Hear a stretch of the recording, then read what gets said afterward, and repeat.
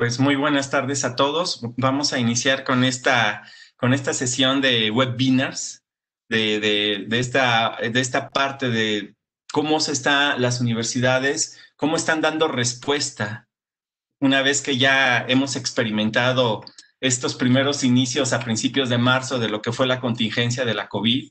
Han pasado los meses, cual pareciera que se hubiera detenido el tiempo no sabemos, como si hubiéramos quedado en el limbo, pero en ese tiempo las universidades han hecho muchísimo, han dado respuesta a la continuidad académica y, y, quiero el día de hoy pues agradecer a la Universidad de Jalapa que nos hace el honor de estar presente y platicarnos esa gran experiencia y cómo lo han hecho ellos. Es algo ejemplar definitivamente y es por eso que los hemos invitado. Consideramos que vale la pena muchísimo conocer su experiencia y pues agradecer. El tema del webinar de hoy es transformación digital, experiencia de la Universidad de Jalapa.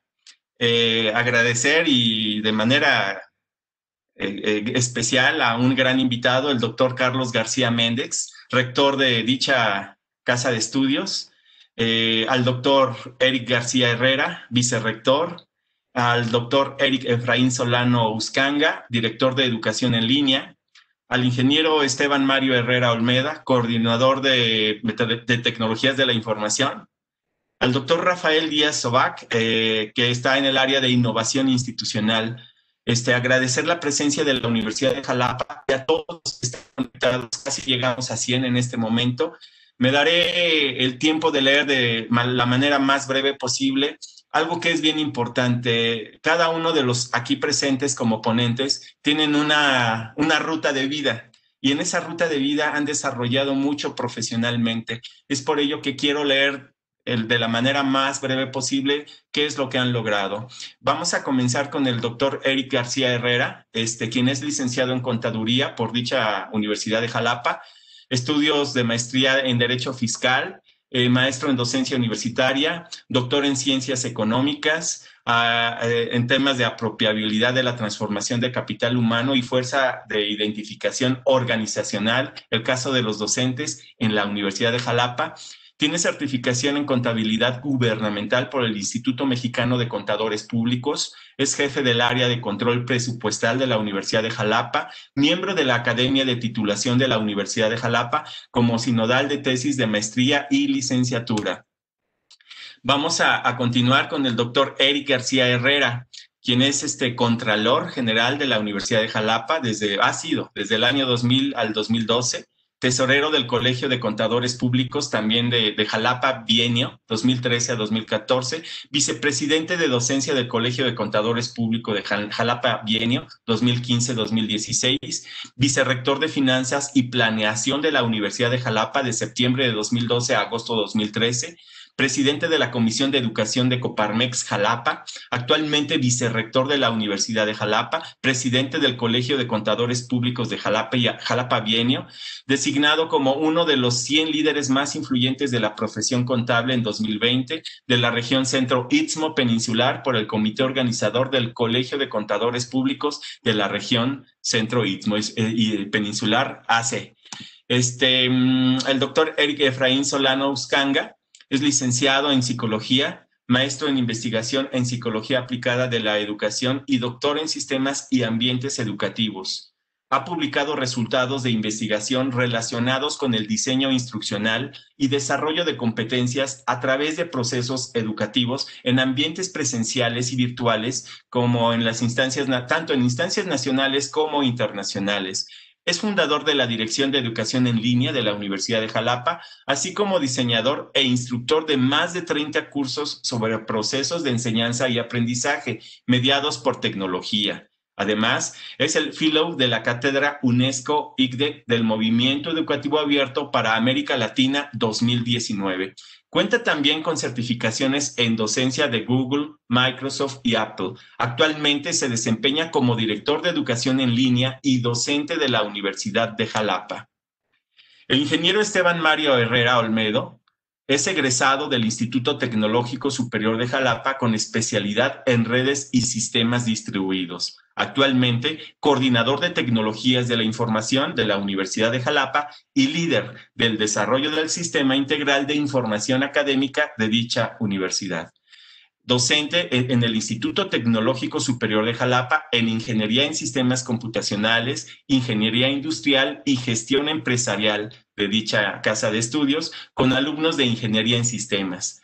Administrador de Red y Datos del Centro de Evaluación y Desarrollo Estratégicos, el CIDE, del Colegio de Estudios de Avanzados de Iberoamérica y de la Red Iberoamericana de Liderazgo y Educación. Además, imparte o ha impartido cursos de capacitación en el Instituto Tecnológico Superior de Coatzacoalcos, al Sindicato de Trabajadores del Seguro Social de la Fiscalía General del Gobierno del Estado de Veracruz, entre otros. Además, también ha participado en varias publicaciones de congresos nacionales e internacionales. El doctor Rafael Díaz Obac es miembro del Sistema Nacional de Investigadores, nivel 1, y profesor con perfil PRODEP, por sus trabajos de investigación ha recibido diferentes reconocimientos tanto nacionales como internacionales, con el Premio Nacional de Alimentos Coca-Cola CONACYT y en dos ocasiones el George Stewart Annual Meeting, que otorga el Institute of Food Technologies, y el premio a la innovación que otorga el IFT PepsiCo Group. Recientemente con su grupo de investigación fueron ganadores del concurso a la innovación, innovación Patentar para Transferir, convocado por la Universidad Católica de Chile. Forma parte de diferentes comités académicos y de evaluación, así como de grupos de trabajo y redes de colaboración nacional e internacional. Participa en la red binacional Open Energy del TEC de Monterrey para el desarrollo de recursos educativos abiertos y en la Red Mexicana para el Desarrollo de Tecnología Educativa, Red LATE, en el área de educación 4.0 y acreditación de la calidad del aprendizaje en línea.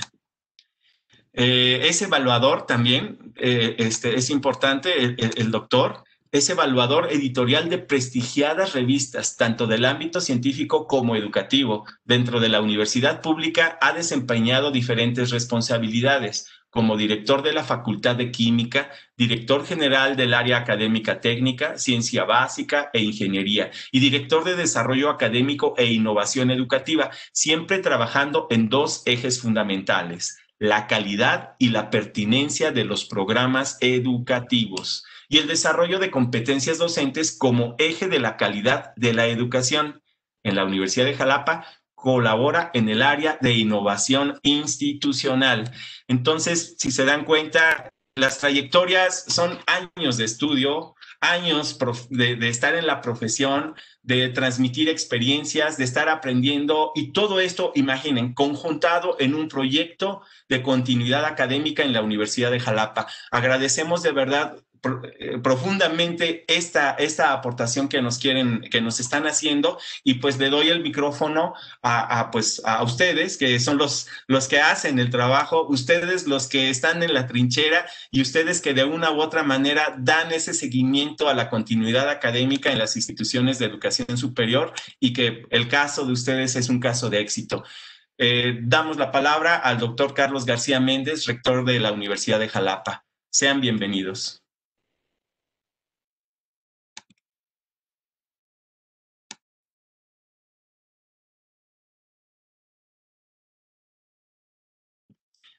Está, abriendo el micrófono, demos unos minutitos. Como, como todo, ya saben, a veces la tecnología no tiene palabra de honor, a veces nos hace, hace jugadas, pero en unos minutitos tendremos sus palabras. Sigue su micrófono cerrado. Ya, lo escuchamos. Bienvenido, rector. Muchas gracias. Muy buena tarde tengan todas y todos los presentes. Agradezco al Comité de Tecnologías de la Información y Comunicaciones TIC de la Asociación Nacional de Universidades e Instituciones de Educación Superior, ANUYES, la invitación de participar en el seminario Gestión de la Tecnología Educativa.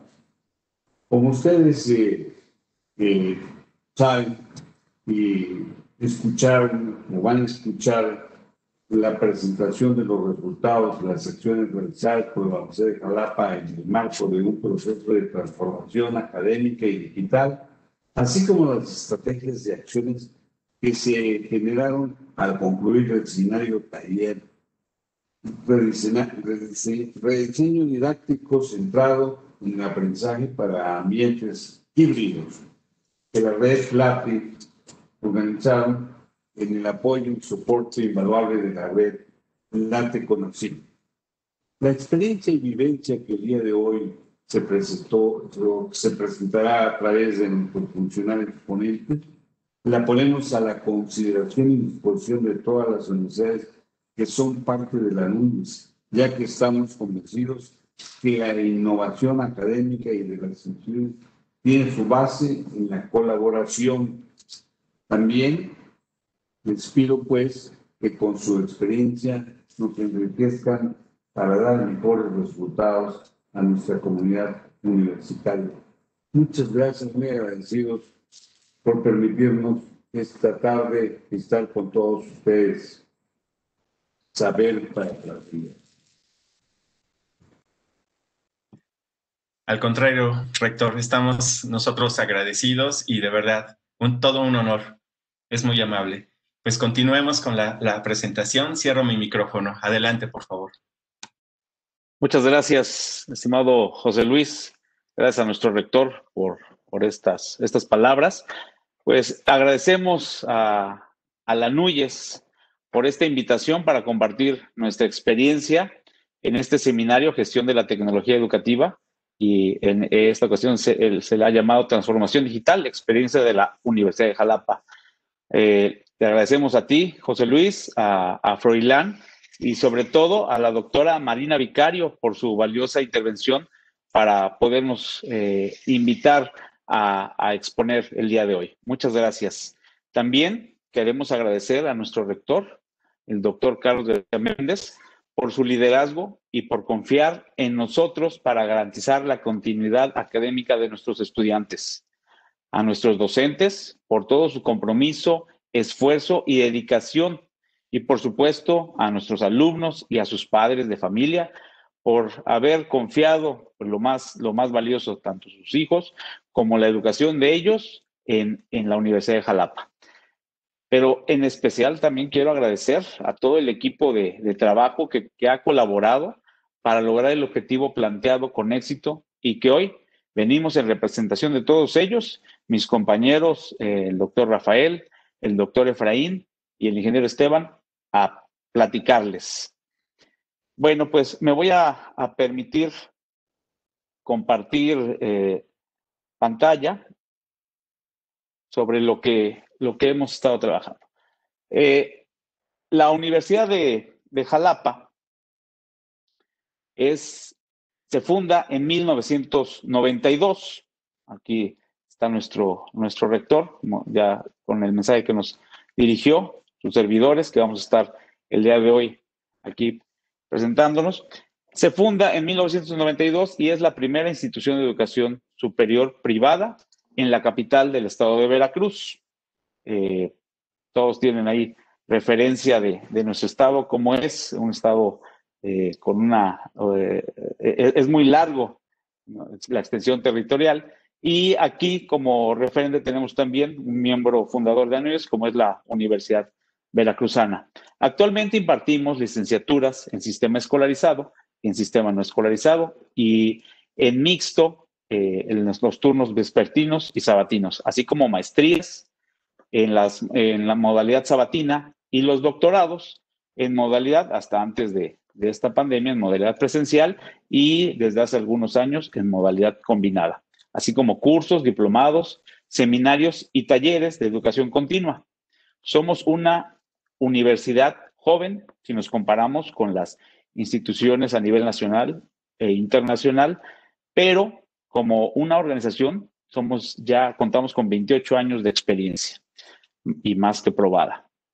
Eh, les comentaba que somos una institución de educación superior privada y esto implica eh, que dependemos de las cuotas que cubren nuestros alumnos, ya que no recibimos ningún subsidio o apoyo de ninguna índole.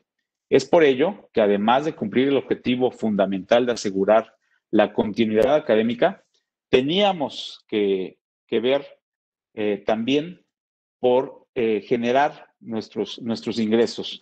No podíamos ahí dejar sin, sin, la fuente de empleo de muchas, de muchas personas y teníamos que lograr este objetivo para poder subsistir. Y era uno de los partes al principio, en marzo, que, que se planteaba cómo, cómo íbamos a, a lograrlo pero sabíamos que haciéndolo bien lo podíamos, lo podíamos hacer. Eh, me voy a, permitir presentar una, una línea del tiempo de cómo se fueron dando las condiciones para llegar hasta marzo de 2020, porque no se puede pasar de un ambiente presencial a uno en línea de un día para otro si no tienes al menos los cimientos o las bases donde empezar a construir tu campus virtual. Pues como les dije, en 1992 se funda la, Universidad de Jalapa. En ya un lejano 1995, con el Instituto Latinoamericano de Comunicación Educativa, se imparte para algunos docentes y directivos eh, la maestría en tecnología educativa. En 1998 eh, empezamos a, impartir cursos eh, de educación continua con el aula virtual del TEC de Monterrey. En el 2002 se le contrata a una empresa española un LMS llamado Adnova, que se estuvo utilizando aquí al, interior de lo que, como apoyo para, para nuestras licenciaturas y para algunos cursos. De ahí transcurrieron algunos años hasta que llegamos al año 2014, donde en este año, con la reforma educativa, el Colegio de Bachilleres del Estado de Veracruz nos busca para poder preparar a, su personal docente para poder eh, eh, enfrentar la, evaluación que, se venía en, unos, en unos meses. Como les decía, la extensión territorial de nuestro estado, tan, tan larga, y el, Colegio de Bachilleres teniendo 35 planteles en todo el estado, era complicado concentrarlos a todos en un solo lugar. Así es que dimos la solución eh, a través de, y esto fue generado por nuestro rector, de que se hiciera en línea. Y ahí es donde, con el apoyo del doctor Efraín y el apoyo de la plataforma Moodle, em, eh, logramos llevar a cabo este diplomado para estos, estos docentes y que pudieran tener esta, eh, su examen y eh, presentarlo para darle continuidad en su cuestión laboral. Con la visión de nuestro rector y nuestro líder, en 2015 se crea la Dirección de Educación en Línea, eh, visualizando lo que, lo que iba a pasar en los próximos, en los próximos años, se decide a crear esta, esta dirección y a fortalecer también nuestro campus virtual. Bueno, pues se crea esta, esta, esta dirección, se empieza a trabajar eh, también con las bibliotecas virtuales, se, se, se, invierte en esta tecnología. Ya teníamos algunas de, de acceso libre, pero empezamos a trabajar con las bibliotecas virtuales. Y durante estos años, el campus virtual sirve como una herramienta para nuestros docentes para que puedan mejorar su práctica docente. Eh, es una, nosotros vimos desde el principio las bondades que era utilizar esta, esta herramienta y fuimos haciéndolo, eh, eh, promoviendo su, su, uso y nunca, nunca forzamos a que se tuviera que, que utilizar eh, por nuestros docentes. Eh, fue, fue incentivarlos, dándoles cursos. Eh, cada, cada intersemestral les dábamos cursos para, para el uso de la plataforma. en 2016, también es otro momento coyuntural, que empezamos a, fortalecer el sistema integral de información académica que nosotros le llamamos el CIA, el CIA que es un, un recurso creado aquí por nuestros ingenieros y que concentra toda la, información administrativa, académica y financiera de nuestra institución. En 2017 se integra eh, EBSCO a, nuestras bibliotecas virtuales. En 2018 eh, empezamos con los doctorados en la modalidad combinada, una parte presencial y otra parte en línea. Y llegamos a marzo de 2020. En marzo de 2020 un 32% de nuestros docentes, como ya lo explicará más, más a fondo el doctor Efraín, eh, utilizaba la, plataforma, el campus virtual, para impartir o para apoyarse, para impartir sus, sus cursos. El 100% de nuestros alumnos habían tenido al menos un curso o una clase eh, utilizando la, plataforma, pero solamente este 32% era de los docentes, era el que lo utilizaba. Llega el, año 2000, 2000 eh, el, año 2020, en marzo, como todos sabemos, la, pandemia y teníamos que transitar, transitamos de, de, un día para otro y más eh, nuestro rector pidió que, que así fuera para asegurar a nuestros alumnos, a nuestros docentes, a toda la comunidad y transitar de lo presencial a lo virtual. Eh, empezamos con la capacitación, no solamente para los docentes y para los alumnos, sino para todo el personal también administrativo para poder eh, enfrentar esta, esta situación. Vimos las plataformas de, para generar la comunicación, el uso de nuestros recursos digitales como las bibliotecas, el software necesario para poder trabajar desde, desde casa y remotamente, así como eh, establecer los mecanismos con el sistema de información integral académica, el CIA, para poder llevar a cabo toda esta parte. Hicimos mucho, mucho trabajo en conjunto, mucha colaboración por parte de nuestros docentes, de nuestro personal administrativo, eh, muchas reuniones con, con, ellos. Como les dije, tenemos eh, licenciaturas que se imparten a lo largo de todo el semestre, como son las del sistema escolarizado, otras como las del sistema sabatino y vespertino, que son por bloques, así como las maestrías. Y cada vez que íbamos a iniciar un bloque, teníamos reunión virtual con los docentes para sensibilizarlos, eh, para también capacitarlos en específico cómo, cómo transformar su curso, su planeación su didáctica y plasmarlo en, la plataforma, en el campus virtual. Así como también revisamos este, la, cómo estaban nuestros alumnos en cuestión de conexión, de equipo, de cuestión, de cómo se sentían también. Nos acercamos mucho, mucho a ello. Todo fue llamadas telefónicas, mensajes. Nuestros eh, directivos, la dirección académica, a través de los jefes de escuela, estuvieron muy pendientes de todos, de todos ellos también pedimos mucha flexibilidad por parte de nuestros docentes, así como que también se grabaran todas las clases por aquellos que no podían eh, verlas en, eh, en, la, en directo. ¿Por qué? Porque no tenían conexión, se habían ido a sus lugares de origen y no podían acceder tan fácilmente a la red o el, equipo era utilizado por alguien más de la, de la familia. Pero pese a esto, también registramos mayor asistencia que en lo presencial, como lo hemos oído en otros, en otros casos. Así es que en esta situación llegamos a marzo de 2020. Lo, lo llevamos a cabo, empezamos a, a, a generar muy buena expectativa y bueno, pues con la información, con mucha incertidumbre, no había certeza en la información de cuándo íbamos a, a regresar no se sabía, siempre nos fueron modificando las fechas por parte de las autoridades y hasta el día de hoy no hay quien pueda garantizar el día, el mes o el semestre en que vamos a, regresar a lo presencial y cómo regresaremos. Entonces, nuestro rector eh, eh, eh, nos, pidió que se generara, que se empezara a generar un modelo, un modelo para poder transitar entre lo presencial y lo virtual. Eh, a esto le llamamos el modelo híbrido de operación académica EDUX 4.0, donde aquí eh, lo, importante era ver la innovación en la operación de nuestros docentes, así como también revisar toda la reingeniería de nuestros procesos. Todos la mayoría de los procesos habían, habían cambiado y habían evolucionado.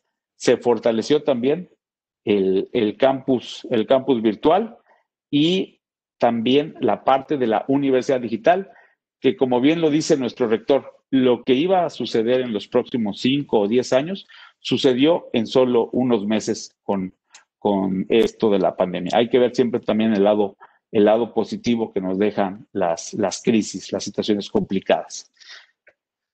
Bueno, pues eh, quiero comentarles que también ahí con la intervención del doctor Rafael Díaz Sobac y con toda eh, lo que ha transitado, como lo pudimos escuchar en su, eh, en su trayectoria de vida, como bien le dice José Luis este, al currículum, eh, pudimos cobijarnos y fue algo que nos había encargado el rector, ver quiénes eran los especialistas que nos pudieran guiar y orientar para evolucionar en este proceso. Así es como coincidimos en esta forma, en esta vida académica, con eh, algunos miembros de la red LATE, como es la doctora Marina, el doctor Pedro y el maestro Víctor, quienes nos, eh, nos pusimos a trabajar fuertemente para generar el seminario taller Rediseño Didáctico centrado en el aprendizaje en ambientes híbridos. Se realizó en colaboración, como les comento, con la red LATE para darle sentido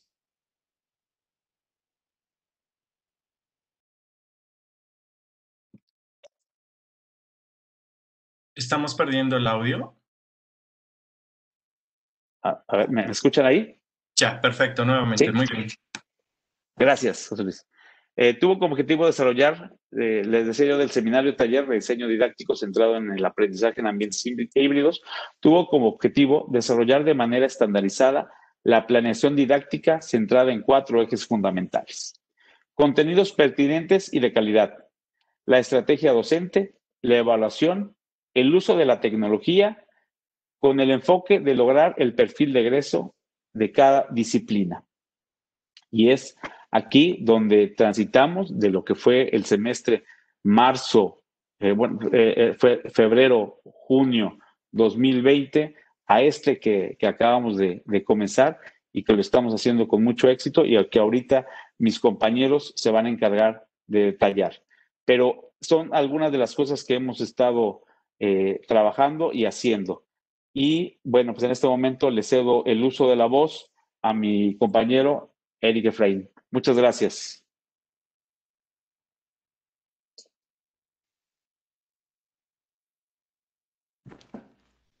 Muchísimas gracias. Eh, por ahí si pudieran darme eh, permisos de compartir, agradecería infinitamente. Gracias.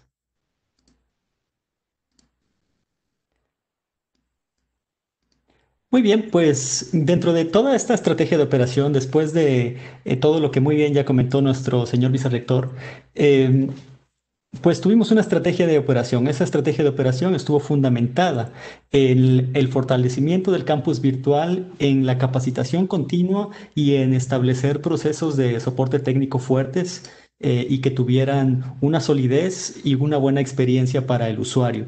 Aquí eh, empezamos ya a pensar en procesos distintos eh, a, los, a los únicamente académicos, sino también en procesos administrativos y en algunos elementos que son importantes en este tipo de sistemas que tienen que ver con interfaz, diseño de, de interfaz y demás. Eh, el modelo híbrido tiene cuatro principales ejes de operación, que es el aprendizaje presencial y las estrategias remotas. Eh, también el fortalecer las habilidades de nuestros docentes, eso es súper fundamental. Eh, operar bajo estándares de bioseguridad y ampliar el programa de universidad digital. Bien, ¿qué teníamos? ¿Con qué contábamos cuando empezó toda esta cuestión de la pandemia? Pues como nosotros ya sabemos y ustedes seguramente lo vivieron, eh, esto como que ocurrió en dos partes eh, muy eh, marcadas. Una, que inicialmente íbamos a tener un proceso en el que quizás estaríamos fuera de las escuelas un mes, pero posteriormente se convirtió en, en, una dinámica distinta en el que pues ya no sabemos exactamente cuándo regresaremos. Entonces, ¿con qué contábamos? Contábamos con siete cursos de capacitación que generalmente se daban en los periodos intersemestrales y que cubrían un espectro bastante amplio de, las habilidades que tiene el docente o las que va desarrollando conforme va tomando los cursos de capacitación. Teníamos unos cursos básicos que tienen que ver con nubes de almacenamiento, por ejemplo, y algunos mucho más complejos que están relacionados con un entorno personal de aprendizaje y con la construcción de entornos educativos no presenciales y combinados. Teníamos además 35 videotutoriales para usar el campus virtual y en ese momento, cuando, cuando empezó todo esto, teníamos un porcentaje de participación de 32%. Eh, por ciento, es decir, 32% de nuestros docentes usaban el campus virtual para eh, apoyar sus clases. ¿A dónde llegamos? ¿En dónde estamos hoy? Hoy estamos, eh, crecimos a un número de 75 videotutoriales de diversas habilidades y, diversas necesidades que han surgido conforme va avanzando el uso del campus virtual. Eh, uno de los grandes productos que tenemos a raíz de esta pandemia, que yo le digo que es como que el, regalo que nos dio la pandemia, es el repositorio de capacitación institucional, que es un lugar donde nosotros ponemos todos los elementos disponibles eh, para nuestros maestros, para que si tienen alguna duda o algún, algún, eh, alguna cuestión puedan visualizar ahí todos los tutoriales, tanto propios como otros que podemos curar, y tengan acceso a ellos y puedan resolver sus situaciones tecnopedagógicas. Una vez que se conformó eso, pues nos pudimos dar la tarea de tener asesoría tecnopedagógica personalizada para todos aquellos que la necesitan. que la necesitan. Es decir, tenemos una parte automatizada eh, y tenemos otra que ya es como que el fino, ya la cuestión tecnopedagógica más allá de la únicamente técnica. Eh, y bueno, Debido a todo este proceso, ya estamos con un 100% de participación docente en el campus virtual de la Universidad de Jalapa y también todos y cada uno de nuestros estudiantes están usando el campus virtual. Bien, eh, si se dieron cuenta, hubo un avance, eh, creemos que es bastante sustancial eh, y hay un gran proceso detrás de ello. Se dice fácil, se ven algunos números de manera somera, pero hay un proceso muy interesante ahí dentro y, hay varios pasitos que tuvimos que realizar. todo esto empezó en marzo. En marzo empezamos la capacitación en el campus virtual de la Universidad de Jalapa. Tuvimos una dinámica en la que estuvimos capacitando de manera intensiva a todos los maestros de la universidad y, afortunadamente usamos una estrategia y gracias y aprovecho también para agradecer a todos los maestros que ya usaban el campus virtual, nos ayudaron a capacitar al resto de los maestros que todavía no lo usaban.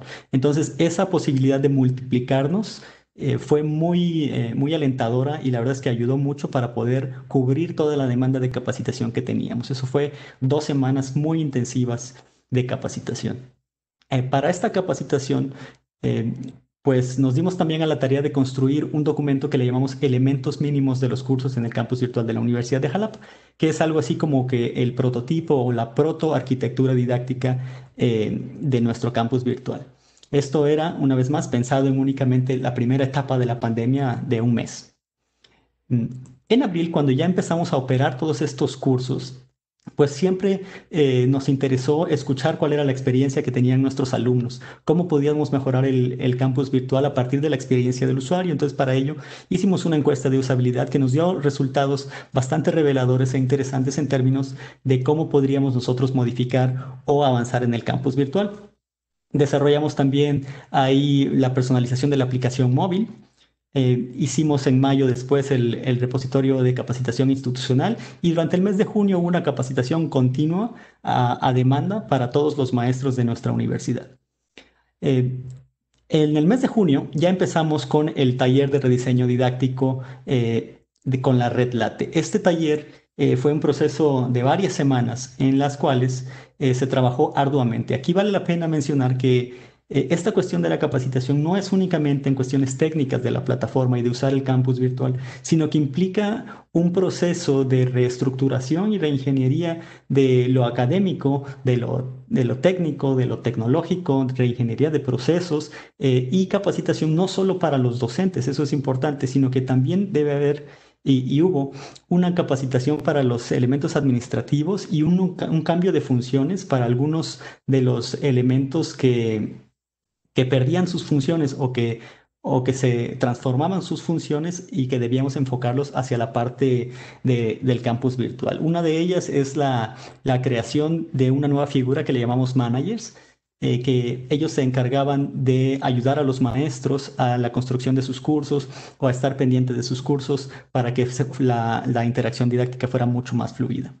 Durante el curso taller también hicimos una suerte de, trabajo colaborativo con los maestros y trabajo en, academias o protoacademias, en las cuales había también un líder de, academia, un líder coordinador de, grupo, y entonces esa persona eh, ayudaba o se encargaba de, administrar un poco a N número de maestros.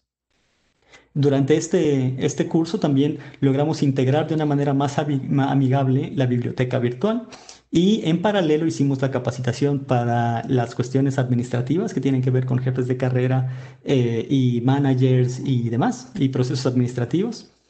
Eh, y bueno, este, esta cuestión de, la capacitación, eh, insisto, no es únicamente técnica, también se crearon procesos y transformaciones que tienen eh, relación con los, con los ah, formatos de planeación didáctica. Esta parte es importante porque no podemos convertir eh, únicamente la modalidad sin que haya detrás un cambio pedagógico profundo en, en, qué es lo que enseño, para qué lo enseño, cuándo quiero que aprenda el alumno y cómo lo voy a evidenciar.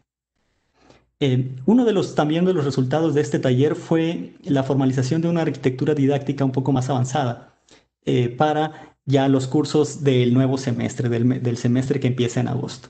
Eh, para ello, creamos también una lista de reproducción con videos tutoriales, parece que son 11 y que van creciendo. Estos estamos sacando videos conforme vayan avanzando en el uso y sean necesarios. Eh, y esa lista de reproducción también ayuda mucho en términos de conservar la arquitectura didáctica y darle el mejor, eh, la mejor experiencia de usuario a nuestros alumnos, que todos los cursos sean memorables, es decir, que el alumno sepa dónde encontrar cada una de las cosas o cada uno de los elementos eh, en uno de los cursos y que pueda reproducir ese comportamiento en el resto de los cursos. Eso siempre da mucha certeza, mucha transparencia y muchos elementos también para estandarizar la experiencia de nuestros alumnos. Eh, gracias a esta arquitectura didáctica también pudimos generar plantillas de cursos en Moodle, de forma que le dábamos al maestro ya cuando entraba a su curso, eh, pues ahora sí que toda la estructura semi-organizada, ya nada más para que entrara a modificar las cuestiones específicas de su curso y que empezara con la, eh, con la instrucción, ya con la planeación didáctica y las actividades didácticas en un, en un segundo momento, pero que ya no se tuviera que preocupar por eh, generar algunos elementos básicos como fueran banners, eh, estructuras y, cuestiones administrativas como las actividades de registro de asistencia y demás. Eh, durante el mes de septiembre nos pusimos ya en contacto también con Unicheck, que es una aplicación de, de detección de plagio y la estamos implementando. De hecho, mañana justo tenemos eh, una parte de la capacitación en ello y la integramos también a nuestro campus virtual, eh, siempre tratando de fortalecer el asunto. Y ahorita en octubre están surgiendo necesidades que tienen que ver con el libro de calificaciones, que a mí me gusta eh, decir que es la parte más oscura de del Moodle. Entonces estamos trabajando, en, estamos trabajando en eso y seguimos, seguimos avanzando. Esta cuestión no para y este, todos los procesos son perfectibles. Entonces, siempre va a haber una, una revisión continua. Ahora, en el campus virtual, para fortalecerlo, ¿cómo le hicimos? Nosotros trabajamos con Moodle 3.8 aunque ya existe 3.9 y hay alguna una versión más avanzada, 3.9 se está trabajando en 4, no, decidimos no actualizar todavía eh, eso porque sí hay ah, cambios sustanciales en interfaz, no solo para el alumno, sino para el maestro. Entonces, como ya sabían, ya teníamos una costumbre de cómo usar la plataforma, el campus virtual en 3.8 decidimos dejarlo así. Y además de que eso nos dio la oportunidad de poder trabajar con todos y cada uno de los plugins que ya teníamos e implementar algunos otros. ¿Qué plugins teníamos? ¿Cómo la teníamos eh, vestida, por así decirlo? Teníamos un plugin de notificación de actividad. Cuando un maestro ponía una actividad nueva, se le notificaba al alumno. Tenemos el de juegos. Tenemos uno de una pregunta, algunos tipos de preguntas que no son de core. Tenemos el de, mm, el de finalización de actividad o porcentajes de actividad. Y tenemos uno muy interesante que se llama H5P, que tiene que ver con contenido interactivo y que con el que el alumno ya pueda eh, operar sobre la plataforma y no sea tan pasivo. ¿Qué se implementó? ¿Qué se, que se instaló a raíz de todos los cambios de, de, este proceso en la transformación? Pues un plugin para registro de asistencia que sustituye a lo que presencialmente se hace como la lista. Eh, incluimos otro plugin para que los alumnos se incluyeran en grupos dentro de la plataforma automáticamente. Eh, un plugin más que, que es un, un sistema en el que mm, funciona como un correo electrónico, solo que es interno en la plataforma. Entonces puedes adjuntar archivos específicos para cierto grupo o para ciertas personas dentro de los grupos y con los participantes que compartes contextos. Y finalmente, pensando también en las cuestiones de educación continua, el plugin que, que está relacionado con los certificados personalizados. Y ahí puse un asterisquito con la biblioteca virtual porque, eh, repito, la integramos eh, de una manera amigable y que está omnipresente, por así decirlo, para los alumnos en todos lados y puedan acceder a ella de manera eh, sencilla. Esto es el campus virtual, esto es la parte del tablero del campus virtual. Todos y cada uno de los cursos tienen una imagen, tienen toda la información muy específica para el alumno que tenga certeza de qué es dónde. Eh, y tenemos también hay unos bloques de línea del tiempo y eventos próximos para que el alumno tenga también certeza de qué es lo que tiene que hacer, cuándo lo tiene que hacer y cuál es el evento próximo que necesita desarrollar. Si se dan cuenta, aquí, aquí está la biblioteca virtual y de este lado está esto del correo electrónico eh, local que les comentaba. Esto es un screenshot que, les, pongo aquí, que es la arquitectura didáctica. Básicamente un curso cuando el maestro llega al curso eh, se encuentra con esto, más o menos. El alumno se encuentra totalmente con esto porque ya tiene aquí el horario de clases. Entonces, así se ve. Tratamos de que fuera algo eh, simple, que fuera algo elegante, que fuera bastante organizado y siempre cuidar las cuestiones de la navegación y de la usabilidad de la plataforma. Eh, estamos trabajando en, tener la posibilidad de tener un, dark mode, un, modo oscuro para cuidar también la salud de los ojos de nuestros estudiantes. Y bueno, a partir de todo este proceso y esta, esta transformación eh, tan, tan amplia que hemos, que hemos vivido, eh, tenemos algunas reflexiones que tienen que ver que, con, con Ah, que es muy importante que un maestro que va a dar clases en línea o apoyado en tecnología viva un proceso eh, como alumno, un curso como, como alumno. Ahí eso le permite tener una empatía distinta con el estudiante y además también eh, tiene la oportunidad de ver estrategias que sirven y que no sirven. O sea, aprende qué hacer en un curso como, como maestro a partir de la visión del alumno y también qué no hacer. Eh, también aprendimos que la capacitación tiene que ser ágil. Quizás poner en segundo término los cursos formales largos y hacer una capacitación más ágil a través de videotutoriales o cuestiones así, eh, yo digo que de botón, ¿no? ¿no? No tanto de cuerda, sino de botón. Eh, también aprendimos que los tours para los usuarios son importantes dentro de la plataforma y que los avisos que querramos dar es mejor ponerlos en un tour que hacerlo por correo electrónico. Vemos que no hay tanta cultura de revisar el correo electrónico específicamente. Otra de las eh, reflexiones importantes es que necesitamos escuchar a nuestros alumnos y a nuestros maestros. Eh, y a nuestros administrativos. Necesitamos tener un oído amplio para saber cuáles son las necesidades y cómo están surgiendo los procesos para hacerlos los más eficientes posible. Que esta transformación y el uso de las tecnologías no se vea como un, como un trabajo más o como un elemento que dificulta, sino lo contrario, que sea una herramienta que facilita la vida. Eh, también otra de las reflexiones es tratar de automatizar todo lo que sea posible, porque si no, no nos damos abasto en, en términos de trabajo y horas hombre. Y finalmente, una reflexión también es que es muy útil que las personas que toman las decisiones tengan carga académica en la modalidad que se vaya a desarrollar. Siempre eso nos va a ayudar a, a empatizar con el alumno, con el usuario, con el maestro y con la forma en que nosotros exigimos o eh, eh, cómo esperamos que los demás se comporten en esos contextos. En términos de soporte técnico, Afortunadamente, los problemas más fuertes son estos tres que ven en pantalla. Olvidé mi contraseña, no sé mi nombre de usuario o algún problema con el hardware.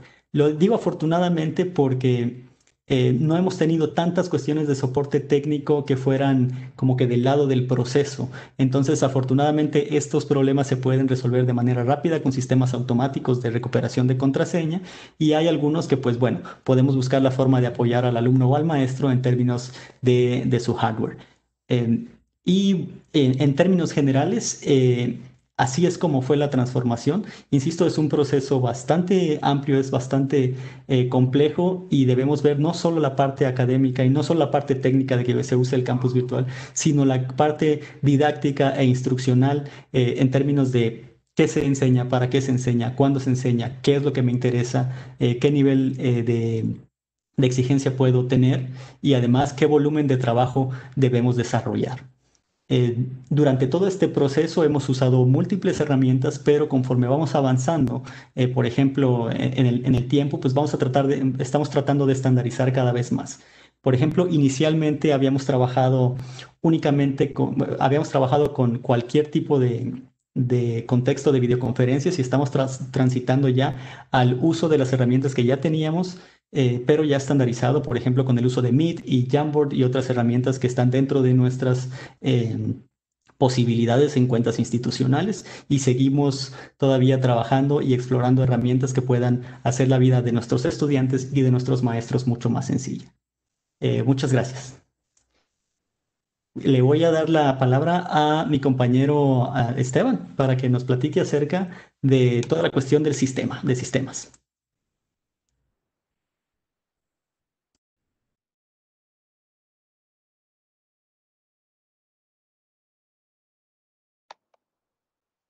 Bien, eh, al llegar el mes de marzo de 2020, nos enfrentamos a que eh, muchas de las cosas que se hacían presencialmente tenemos que hacerlo desde la comodidad de nuestras casas, los alumnos desde la comodidad de sus casas también, y para ello entonces decidimos llevar las oficinas hasta las casas.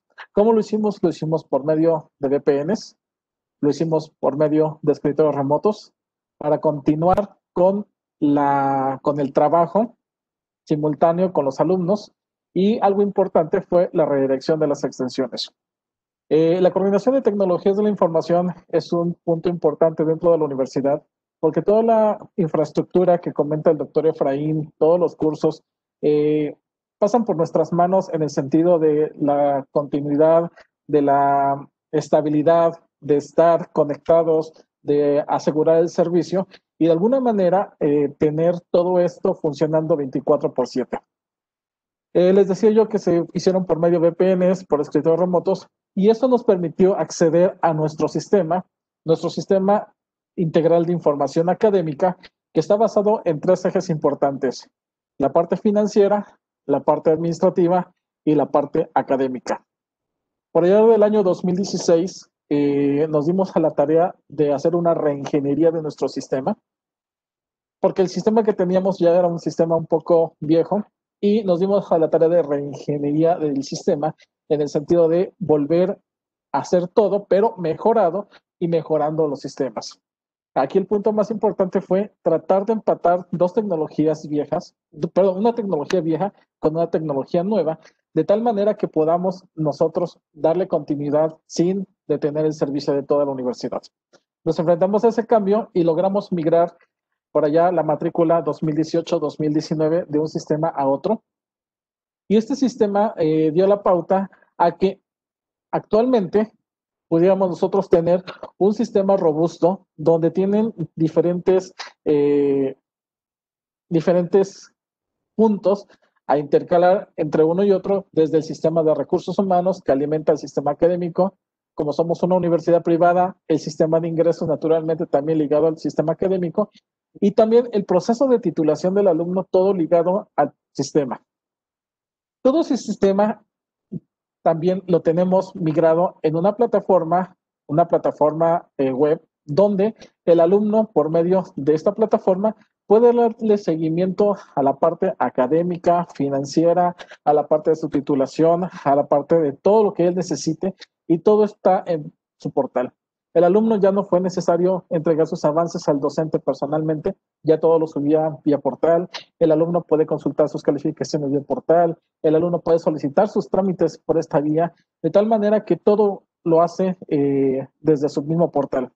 Actualmente nuestro sistema es un sistema ya robusto donde contiene todo el proceso de la ruta académica del alumno, el seguimiento de alumnos en riesgo, evaluación del desempeño docente, la generación de trámites, seguimiento de prácticas profesionales, servicio social, la trayectoria escolar, el proceso de titulación en sus diferentes formas, la currícula de los profesores para tomar decisiones y la generación de la plantilla docente para el, cada ciclo escolar.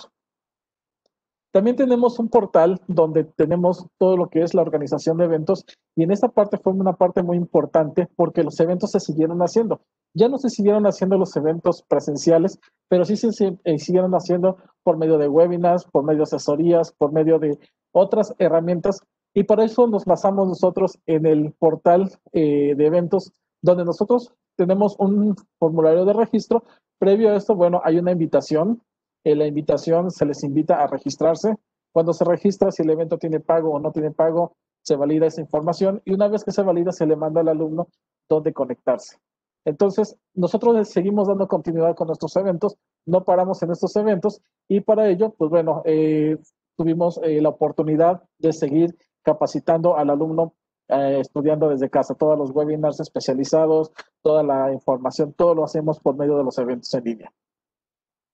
También se fortaleció la comunicación institucional por medio de los correos institucionales a través de los alumnos, a través del personal administrativo, a, través de eh, los docentes. Y eso fue una llave que permitió que tanto para la plataforma eh, virtual fuera la llave de acceso, como para otros procesos que internamente la universidad ha ocupado. Algo importante que nos tocó eh, desarrollar e instalar fue lo que es el aula híbrida. El aula híbrida preparada para cuando la contingencia eh, nos permita regresar a las actividades normales, probablemente no tengamos la oportunidad de tener el 100% de los alumnos trabajando. Sin embargo, eh, sí tenemos la oportunidad de que a lo mejor 50-50, 50%, en línea, 50% este, presencial, estemos trabajando simultáneamente con el docente. Para ello, las aulas las hemos equipado con internet, con equipo de cómputo, con pantallas, y el docente puede estar interactuando de manera eh, bidireccional con los que están remotamente como los que están localmente. Este, este proceso lo hicimos a través del mes de junio y julio y actualmente se encuentra listo en todas nuestras aulas, ya preparados para, para darle continuidad. También desarrollamos lo que es la credencial electrónica y esta credencial electrónica la hicimos para darle la, el acceso a las instalaciones de la universidad. Un vigilante puede ver su credencial electrónica, validar esa información, dar el acceso y más adelante la queremos utilizar para trámites escolares, para uso de bibliotecas y bueno, para trámites este, internos. Y bueno, eh, hasta aquí mi presentación. Eh, quedo a sus órdenes. Continuamos con el doctor Rafael Díaz Sobac.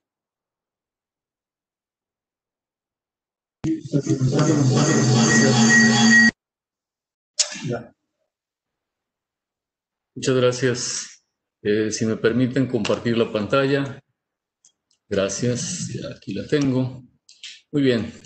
Eh, pues a, mí me toca presentar ya eh, la parte final y, creo el, resumen de lo que mis compañeros han, han estado comentando. Y bueno, agradezco a Núñez esta invitación, a todos los que están escuchando y que están viendo esta, esta presentación. Eh, muchas gracias por, por, acompañarnos y sin duda eh, un agradecimiento a nuestro rector que tiene esta visión y este liderazgo que nos está impulsando a, a trabajar en este proyecto. Eh, yo quiero simplemente comentarles y compartir que este trabajo que venimos realizando se, tiene que reflejar en números y se tiene que reflejar en, en datos y en hechos. Es muy satisfactorio que a partir de que nosotros implementamos tanto la estrategia de operación académica, de continuidad académica a partir de marzo, y con la cual cerramos el semestre febrero, febrero-julio, tuvimos 0% de deserción en este semestre. Nuestros estudiantes eh, no abandonaron sus estudios, no abandonaron las, las clases. Eh, sí, eh, la universidad hizo un esfuerzo eh, para apoyarlos en todo momento. Hubo una continuidad en el apoyo, hubo un programa que se le denominamos Estudia en casa y tenía un hashtag que decía yo estudio en casa y no era solamente pedirle a los estudiantes que se mantuvieran en sus casas y se mantuvieran estudiando. También la universidad implementó una serie de talleres, de webinars, de accesos a capacitación, eh, implementamos un sistema de laboratorios remotos para la, para la práctica y esto permitió también la, la, extraordinaria respuesta de motivación de nuestros estudiantes. Y eh, ahora, al iniciar el semestre, que tendría que ser el semestre agosto, agosto-enero, las autoridades educativas en Veracruz eh, lo corrieron al mes de septiembre, iniciamos con una tasa de reinscripción del 98%. Esto para nosotros es muy satisfactorio porque eh, es una muestra de la confianza, del interés que la comunidad estudiantil, que la sociedad, que los padres de familia están eh, teniendo y están viendo en esta, en esta propuesta que la Universidad de Jalapa desarrolló y que quiero destacar se ha desarrollado en muy corto tiempo. Esta transformación digital que está fundamentada en una eh, sólida transformación pedagógica eh, está teniendo el éxito y el alcance que nosotros eh, nos habíamos propuesto. Y la matrícula de nuevo ingreso, esto es estudiantes de, de nuevo ingreso, es del 95% de acuerdo a la meta institucional que nos hemos establecido. Hoy tenemos más de 600 estudiantes de nuevo ingreso ya eh, cursando eh, este, este programa eh, EDUX 4.0. Para, para, concluir, yo quisiera solamente comentar que la transformación digital, como lo decía, está fundamentada en un proceso de innovación, de innovación institucional, de innovación académica, donde los docentes han sido el primer foco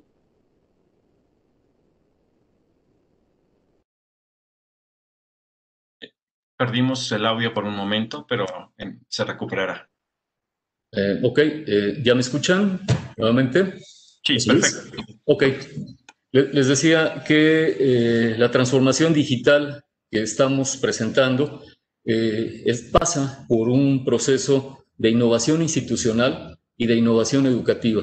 Yo creo que la innovación educativa no tiene los alcances ni, ni los logros pues altos o las altas expectativas que se eh, plantean sobre innovación educativa no se cumplen si no hay una eh, verdadera innovación institucional, si no hay una verdadera transformación de la institución que va desde las altas eh, esferas de liderazgo, de autoridad, hasta todo el personal, sea académico, administrativo, manual, de apoyo. Todos debemos de comprender el concepto de innovación y de transformación. Esto principalmente lo centramos en los docentes, como ya se dijo, en la planeación de, los docentes, pero quiero destacar que la planeación docente eh, tuvo un, componente muy importante. ¿sí? Nosotros fundamentamos nuestra estrategia de capacitación y el trabajo que realizamos con nuestros compañeros y amigos de la red LATE a través de un proceso que tenía como objetivo innovar y modificar la planeación didáctica. Uno, centrada en el aprendizaje del estudiante y centrada en lograr los perfiles de egreso. ¿sí? No estábamos, como lo dijo el doctor Efraín, solamente pensando en capacitar en el uso de la plataforma y capacitar en las estrategias de comunicación. Eh, el proceso eh, lo llevamos muy a fondo, ¿sí? Y hoy podemos decir que eh, todos los profesores tienen ya en el campus virtual su planeación docente, ¿sí? Esto es lo que realizaron, lo que planearon, el estudiante lo puede ver y hemos logrado también que a través de la apertura de las, de las academias, de los grupos de trabajo, también los profesores puedan colaborar y puedan ver lo que su par académico está planeando, está desarrollando y esto permite un trabajo colaborativo y sobre todo permite un trabajo que va más allá de la colaboración, que es el compartir, ¿sí? Muchas veces colaboramos, pero no compartimos toda nuestra experiencia y hoy lo estamos logrando. Esto permite que también se desarrollen mejores estrategias docentes que puedan ser eh, utilizadas en esta transformación digital, en este modelo híbrido, ya sea síncrono o asíncrono. Cambiamos también el paradigma de la evaluación ¿sí? La evaluación para nosotros a partir de esta transformación pedagógica y digital es parte del proceso de aprendizaje. La evaluación no es solamente un elemento para poner una calificación numérica. Nosotros la evaluación, y eso es un trabajo que Efraín en la plataforma ha diseñado y ha trabajado bastante, que permita ser un elemento de retroalimentación. Y eh, el, el cuarto elemento y último de esta transformación pedagógica y digital tiene que ver justamente con el uso de tecnologías, pero con el uso de tecnología educativa, no solamente con el uso de nuestra plataforma, sino que nuestros profesores puedan tener acceso a diferentes tecnologías, a diferentes software, a diferentes simuladores, como lo decía, al desarrollo de nuestros laboratorios eh, remotos y sin duda a una estrategia de comunicación, como ya lo eh, explicó Esteban, eh, muy amplia, muy agresiva, que eh, tiene como elemento llave de, todos los procesos nuestro correo electrónico.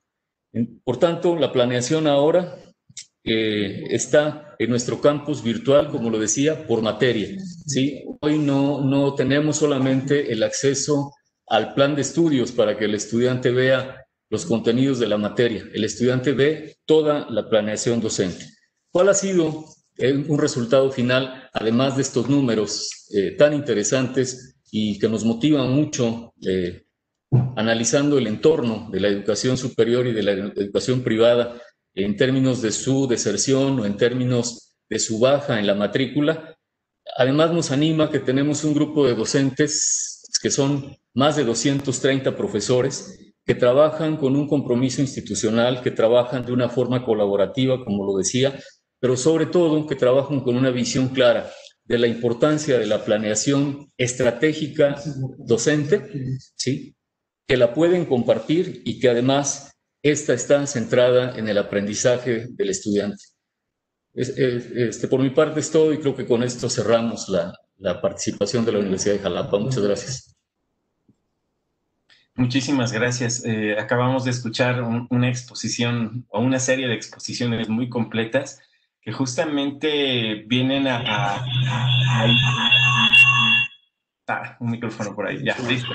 Que vienen a, generar ese gran trabajo de integración. Eh, y, como comenta, doctor, sobre todo me quedo con esta parte de, de innovación, con esta parte de transformación digital, que no solo es digitalizar, sino realmente es, es integrar procesos, es integrar políticas, es integrar a las personas. Esa, esa parte de verdad es muy interesante. Otro tema que ustedes están tocando mucho es la parte del liderazgo el liderazgo que tiene la institución, pero desde los distintos frentes, empezando por el doctor Carlos García como rector y de cada uno de ustedes en su respectivo frente están llevando un liderazgo. Estamos hablando de aspectos técnicos, de aspectos docentes, de capacitación, de, ese, ese liderazgo que ustedes le están dando al rol docente, que es algo bien importante obviamente en el ámbito de tecnología educativa, esta parte de asequibilidad, ¿no? De los recursos tecnológicos que sean alcanzables desde la perspectiva del software o la perspectiva blanda hasta el hardware y todo esto de tener las cámaras y los salones híbridos. De verdad es un, un gran trabajo. Y cómo en conjunto la universidad es una red académica colaborativa, este, en donde no solo colaboran los docentes, colaboran los administradores, colaboran los tomadores de decisiones, colaboran los técnicos y finalmente la comunidad pues, estudiantil que, se, que está, está, es parte de ello. Y, finalmente este tema de liderazgo, pero desde la parte directiva. Eh, y hablo del rector, hablo de, de, los altos directivos, en donde esa, adaptación de planes de estudios, de los académicos capacitados, una perspectiva y una visión estratégica, creo que, nos han dado un, gran ejemplo, nos han dado lección, nos han dado cátedra de cómo se deben hacer las cosas de una manera óptima y, y, sobre todo óptima, más en estos momentos cuando no hay tanto recurso y, sabemos, ustedes son una instancia privada y por tal deben generar valor para poder subsistir. Entonces, eh, de verdad, enhorabuena, les felicito y pues eh, si gustan, es la, es la exposición de ustedes. Simplemente me emociona, como seguramente la doctora Marina Vicario, que está también presente, y Froilán López. Pero quiero, quiero ver si tenemos preguntas, este, tanto en el chat o alguno de los colegas, que son ya más de 100, este, conectados. Llegamos a 133 hace rato. Este, Froilán, ¿tenemos eh, alguna participación en el chat o que quieran hablar este, a viva voz en micrófono? Bueno, pues les, les recordamos a nuestros asistentes que pueden hacer uso de la palabra si, si levantan la mano en el panel de participantes. Ahí tienen la opción para levantar la mano y con todo gusto les podemos dar la palabra. Y bueno, pues ya tenemos la, la primera participante que quiere eh, participar de viva voz. Entonces, Juana Imelda, si te parece, eh, te abro el micrófono, por favor. Oh, y Juana, si nos puedes decir eh, de qué institución eres, que en muchas ocasiones queda anónimo. Bienvenida. Ajá. Ah, sí, buenas tardes. Muchas gracias. Excelente presentación, muy, este, muy organizado, la innovación, no, el compromiso con, pues, con todo. Me encantó. Este, muchas gracias eh, por esta, pues poder participar, estar en estas reuniones. Vengo del TEC de Tecnológico Nacional de México en Celaya, del área de, soy del área de sistemas, pero también estoy en el área de seguimiento de egresados y bolsa de trabajo en el tecnológico. Y pues sí, me, encantó muy bien. Em, aplican hasta, dije, ah, mira, están poniendo pantallas negras atrás. Dije, todo, todo lo están en, eh, hay que predicar con el ejemplo. Dije, no, muy bien. Em, mi pregunta es, ¿Cómo se vio impactada la vinculación en general, el seguimiento de egresados, la educación continua? Sí, es, vi algo, ¿no? Que habla también de continua, pero ¿me podrían hablar un poquito más de ello?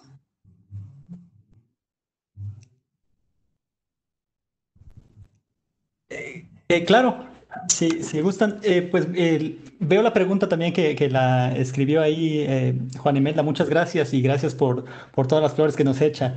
Eh, fíjese que paradójicamente a, lo que muchos podrían pensar que, la cuestión de educación continua y todas las actividades que van más allá de, las clases de licenciatura y maestría y posgrados y demás, eh, decrecentaron, pues no lo hicieron. Eh, creo que el mismo movimiento empezó a hacer un poco de ruido en, términos locales y en términos de, del ambiente virtual eh, educativo alrededor de nuestro contexto y ha habido demanda, ha habido bastante demanda y en cuanto al términos de, del seguimiento de egresados, pues nos permitió también aprovechar esta, esta reingeniería, estos nuevos procesos para reorganizar el asunto y aprovechar que hay ahora las vías de comunicación, que todo el mundo ya sabemos que está en su computador, entonces tenemos más probabilidades de tener respuesta para seguimiento de egresados y, y, y también un poco de, vamos a poner entre comillas, tiempo para, para reorganizar los procesos de seguimiento de egresados y yo creo que eso siempre...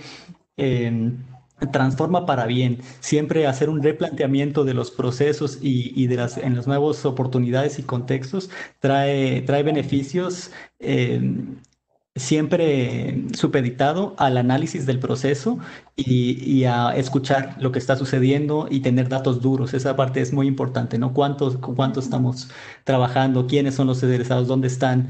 Eh, y eh, también siempre tratando de dar beneficios a nuestros egresados y seguir trabajando fuertemente en eso.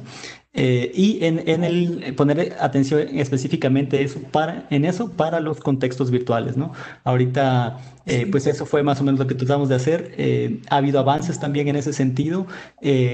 yo creo que para nuestra universidad ha sido ha sido un proceso bastante enriquecedor y yo en lo personal, sí, yo sí lo agradezco, ¿no? Yo, yo lo agradezco en términos generales, ha, ha sido bastante enriquecedor para todos. No sé si alguien más quisiera eh, participar de, la universidad. Sí, por supuesto, muchas gracias. El, el, comentario, este maestra Imelda, muchas gracias también por los comentarios. Eh, eh, sí, sin duda, para nosotros, como considero que para todas las universidades, ha, ha sido un reto de transformación también los procesos que tienen que ver, como usted lo señala, de vinculación. Eh, nosotros eh, tenemos una dinámica de vinculación muy, amplia, muy extensa, que eh, pues afortunadamente tuvimos que, bueno, fue, fue parte de un, de un acuerdo, de un acercamiento con las instituciones donde nuestros estudiantes realizan prácticas profesionales, servicio social, donde incluso realizan sus tesis, para que pudieran darles las facilidades de concluir sus trabajos de tener eh, eh, información, datos que permitieran que, se, pudiera, se pudiera concluir todos los proyectos que se estaban realizando. Es, es un reto, es un reto importante porque justamente los canales de comunicación institucional, los, las, redes, no sociales solamente, sino las redes de comunicación institucional, tienen que ser muy dinámicas y tienen que estar abiertas al acceso también de, de estos agentes de vinculación. Y en el caso de, los egresados, eh, hemos venido desarrollando un programa de seguimiento de egresados eh, muy, muy, importante, ¿sí? Que, se llama ExAUX 4.0, ¿sí? ExAUX.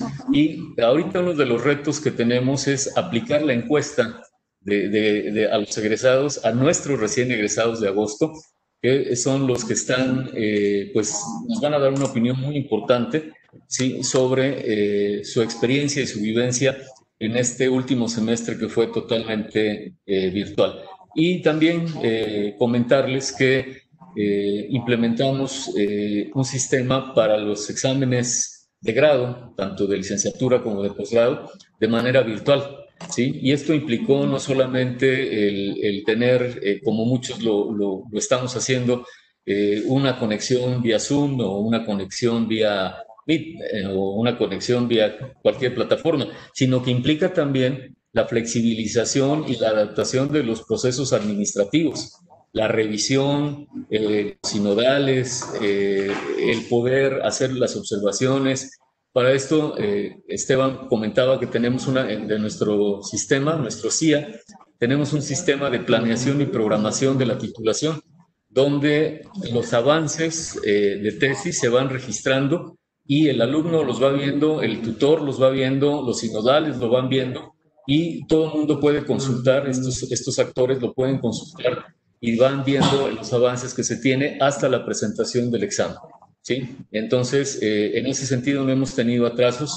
¿sí? Los exámenes profesionales de los diferentes grados se van realizando de, una manera pues bastante eficiente y creo que con eso estamos también dando respuesta a, a este, a este gran grupo de, de, que forma parte de la comunidad universitaria, que son nuestros egresados. Muchas gracias. Sí, no, al contrario, muchas gracias. Al contrario, ustedes son los que les debemos dar las gracias tanto a los que están aquí presentes y, a ustedes como ponentes. Froilán, ¿alguna otra pregunta viva voz o en el chat? ¿O algún comentario? Sí, bueno, eh, tenemos eh, ya varias manos alzadas, entonces si les parece, pues le damos la palabra a Osvaldo. Osvaldo, si te parece, pues abro tu micrófono. Sí, bien. Eh, buenas tardes a todos. Primero vamos a eh, hacer la prueba de micrófono porque ahorita con esto de la tecnología nos vamos hablando y nos damos cuenta que el micrófono, ¿verdad? No, este, no se escuchaba nada. Sí me escuchan, ¿verdad? Te escuchamos perfecto. Ok, bien. Eh, yo soy profesor de la Universidad Tecnológica de, de Tecámac. estamos ubicados en el Estado de México.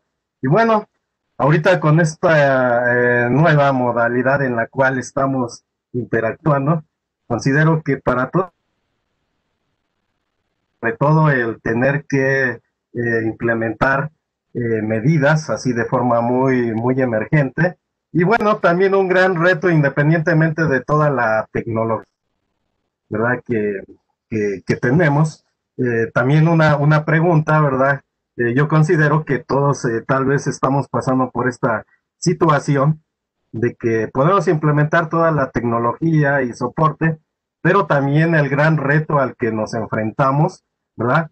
Es que pues los alumnos, en la mayoría de los casos o casos muy esporádicos, algunos no cuentan con tecnología. Y bueno, también tenemos que buscar maneras y, formas para no perder la comunicación eh, con ellos.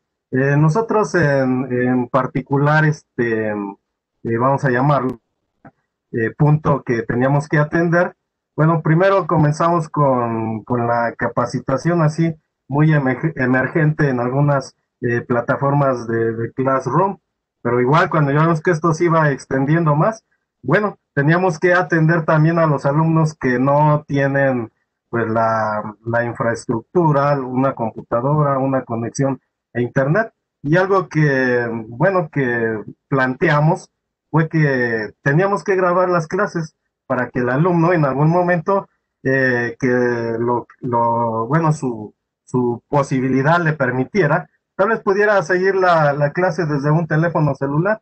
Bien, mi pregunta sería, ¿qué hicieron ustedes para poder solventar situaciones de este caso? Esta es mi pregunta. Gracias.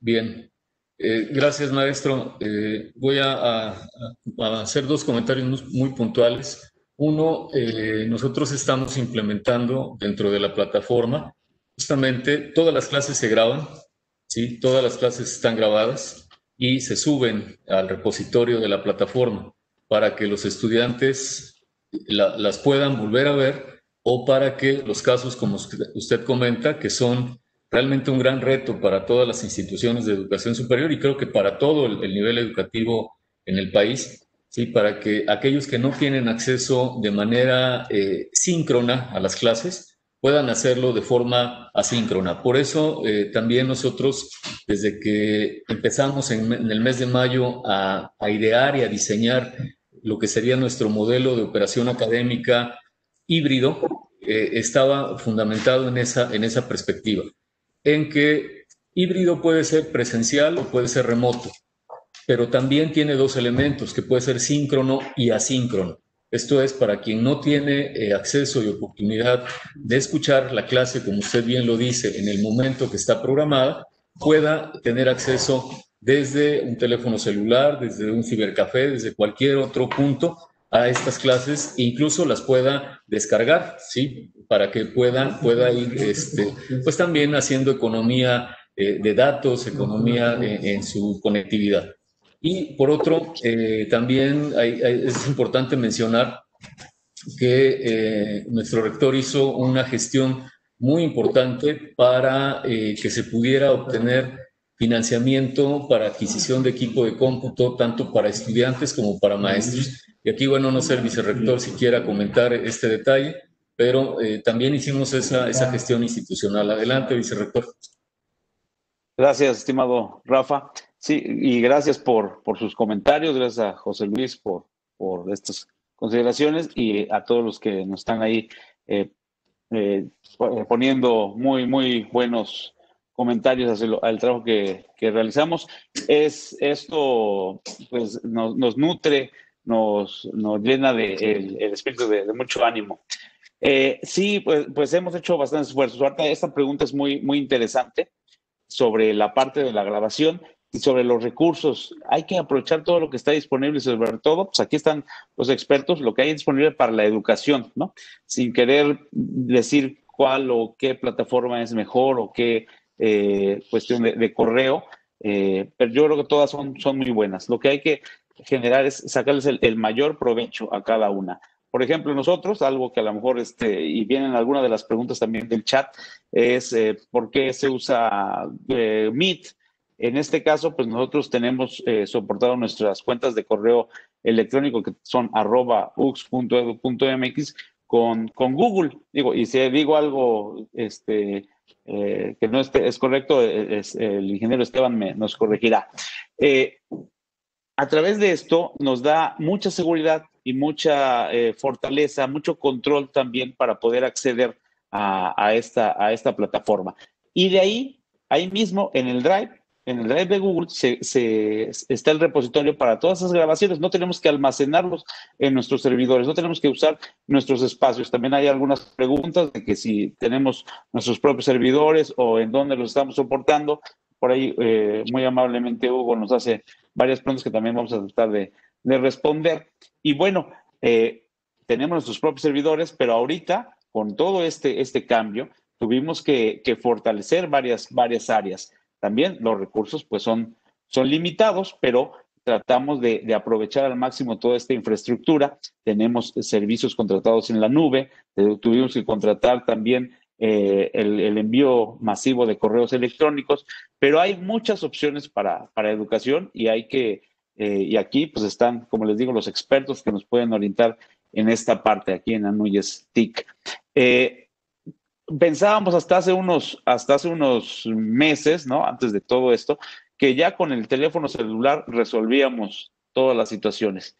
Vimos que no, eh, que tuvimos que regresar al uso de las, de las eh, computadoras de escritorio o de las laptops, porque no es lo mismo tomar una, una clase en, en un teléfono celular, utilizar tal vez los datos de ese teléfono o la batería, que estar conectado y con las condiciones también necesarias para poder estar desde las 7 de la mañana hasta las 2 de la tarde tomando esa, estas clases. Por eso es que, como decía el doctor Rafael, eh, nuestro rector nos pidió que hiciéramos este, convenios y viéramos ahí eh, localmente a un, proveedor eh, que pudiera darle las facilidades para los que no tenían acceso a una tarjeta comercial o bancaria y que pudiera ir a sacar un equipo que siempre es más, más costoso. Aquí nos dieron esas bondades, esas facilidades. eh, con muy buenos equipos y lo, promovimos tanto para que nuestros docentes eh, adquirieran eh, esto como los alumnos, el que lo necesitara, lo pudiera, lo pudiera conseguir. Eso es lo que hemos estado haciendo y trabajando en ese aspecto para poder darle a todos las, las, condiciones necesarias para que reciban la educación que se merece, una educación de calidad. Gracias. Ok, muchas gracias a todos. Al contrario, muchas gracias a ustedes. Eh, Froilán, ¿tenemos por ahí alguna otra pregunta? Tal vez ya para ir llegando. Híjole, pues todavía tenemos muchas preguntas en el chat, en el panel de preguntas, y todavía tenemos varias manos levantadas. Entonces, bueno, si les parece, le doy la palabra a Gerardo Guzmán, que, que también tiene, quiere tomar la palabra. Entonces, adelante, Gerardo. Eh, ¿Ya me escuchan? Creo que ya me escuchan, ahora sí. Listo, sí. Ah, perfecto. ¿Qué tal? ¿Cómo están? Muy, muy buenas eh, tardes. Agradezco mucho la presentación. Eh, de hecho, tengo por ahí la experiencia de, haber coincidido con el doctor Eric Efraín Solano en un Moodle Mood, México, que es precisamente para la plataforma de Moodle. Ahí estuvimos compartiendo varias experiencias. Y, bueno, la pregunta para no extenderme tanto, yo soy director de la Universidad Tecnológica de Tecamac, director de la División Económico-Administrativa, donde contamos en eh, la, universidad completa. Eh, tenemos eh, cerca de 5.900 alumnos y la, dirección que nos toca por ahí comandar, pues tenemos cerca de 1.900 alumnos. estamos hablando de una cantidad de alumnos bastante impresionante. Nosotros no tenemos, no contamos con la plataforma, eh, eh, extrañamente, con la plataforma LMS muy solvente, un Moodle, que es la misma plataforma que ustedes utilizan. No la tenemos, no contamos con, esa plataforma, sino que estamos dando las clases a través de efectivamente la suite de, de Google con Meets y obviamente con el Google Classroom, ¿no? Entonces, ustedes que ya tienen esa experiencia, digo, yo lo sé, pero me gustaría que por ahí los, eh, todos los, participantes en la, en la videoconferencia supieran qué, qué tan bueno, qué tan bueno es que tengamos un LMS como un soporte fundamental para dar las clases en línea, ¿no? Porque efectivamente a nosotros no nos da basto un Google este, Meet, a lo mejor sí por videoconferencias, pero no un Google Classroom, ¿no? Se limita mucho la parte de, de generar eh, algunos procesos que corren en un LMS como Moodle, ¿no? Entonces, sí quisiera yo saber esa, experiencia que ustedes tienen en el manejo de Moodle y qué tanto les ayuda para poder eh, fortalecer estas clases en línea. Muchas gracias y eh, Eric, un saludote grande. Gracias. Pues eso es para ti, este doctor Efraín. Muchas gracias. Muchas gracias. Eh, pues eh, definitivamente eh, ayuda increíblemente. No solo la cuestión didáctica, ¿no? dentro de, Moodle podemos meter un sinfín de plugins que nos, nos solventan necesidades específicas que tenemos incluso a nivel de curso particular.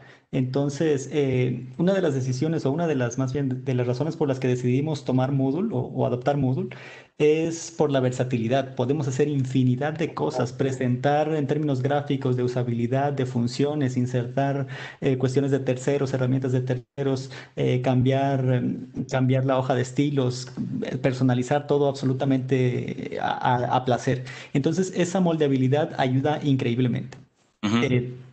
Otra de las cuestiones importantes, más allá de lo de los cursos, es los procesos administrativos que puedes tener en Moodle que no puedes tener de manera tan fina en Google eh, Classroom. En Google Classroom dejas que el maestro tenga su estructura, o más bien ya Google Classroom tiene una estructura casi semifija, semi, rígida y eh, no le permites darle como el feeling al curso, ¿no?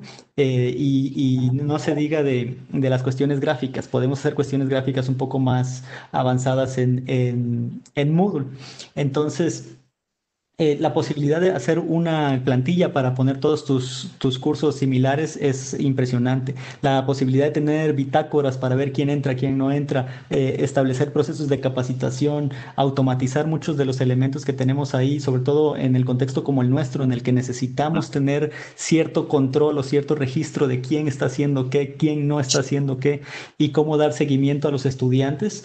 Eh, Moodle nos da algunas herramientas como son analíticas del aprendizaje ¿no? Que podemos usar un poco, un poco más avanzado. Entonces, la recomendación eh, es que si tienes posibilidad, si tiene la institución posibilidad de tener una plataforma Moodle, empiecen a administrarla. El inicio es lento, pero se va aprendiendo de manera vertiginosa. Eh, y sí es súper, súper recomendable. Hay diferentes formas en las que podemos adoptar la plataforma, desde rentar el hosteo completo y la administración, hasta hacer el hosteo en, una, en un servidor propio eh, o comprar una nube. O sea, hay diferentes formas en las que podrías trabajar. También depende del volumen de, de alumnos que tengas. Ya veo que tienes muchísimo. Eh, las mismas personas de Moodle tienen, un, tienen un servicio que se llama Moodle Cloud, que, que, lo hacen ad hoc, ¿no? ¿Cuántos alumnos tienes y te administro todo y te hago todo el branding, etcétera, etcétera? Pues evidentemente cuesta más que te lo hagan, ¿no? Eh, pero eh, sí, la recomendación es si, si, si, si es posible tener una plataforma más robusta, te va a ayudar con todos los procesos administrativos eh, y, y, operativos y logísticos, e incluso que tienen que ver con avisos, ¿no? Para los estudiantes, toda la comunicación va a ser más fluida y vas a poder tener también la visualización de, los diferentes contextos de los maestros y de los alumnos. Perfecto, excelente. Muchísimas gracias, Eric. Y si me das oportunidad por ahí de, generar una grabación y mandárselo a, mi secretario académico, te lo agradecería infinitamente. Con, gusto, este, nos ponemos de acuerdo. Si quieres, échame, échame un correito, eh, lo que necesites, efraín.ux.edu.mx. Ya lo tengo, perfecto, Eric. Muchísimas gracias y gracias por la presentación. Muchas, muchas gracias. Gracias a ti. Muy bien, ¿cómo andamos de tiempo, este Froilán? Pues ya, ya estamos en el límite y creo que se nos están, se nos están quedando muchísimas preguntas. Me gustaría, veo que, veo que Hugo Pablo tiene muchas preguntas, me gustaría saber si pudiera ir así como que rapidito, así contestando algunas de las que pudiera, si les parece conveniente. Sí, por favor. ¿Sí? Ok, eh, el primer LMSL eh, que usamos español, ¿qué tan costoso era? No tengo el dato específico. Eh, consideramos otras opciones antes de Moodle, sí consideramos otras, pero por lo que acabamos de mencionar, nos decidimos por Moodle. también tiene que ver con costos y la posibilidad de personalización de manera independiente, es decir, que no dependas de alguien más para que te haga algunos procesos que generalmente necesitamos que sean súper rápidos y súper veloces. Em, eh, los servidores que son propios, usamos propios y usamos eh, algunas nubes también. Eh, quieres dar hosting, quizás Esteban pueda ayudarnos con eso. características de los servidores también. al inicio de la pandemia bastó la infraestructura que teníamos. en algunas de los elementos sí, en otros hubo que contratar servicios, no tanta infraestructura, pero sí hubo un proceso de transformación que requirió de tener infraestructura nueva. Mm, para sentirnos holgados en términos de, nuestras capacidades, ¿no? Y no estar eh, dudando en, términos de si nos iba a alcanzar o no. Eh, ¿Tuvieron saturación de servicios de informática, servidores y correos electrónicos? No. Eh, ¿Cómo manejaron? ya se habló de las carencias. porcentaje de alumnos que tenían problema de conexión a sus sesiones en línea.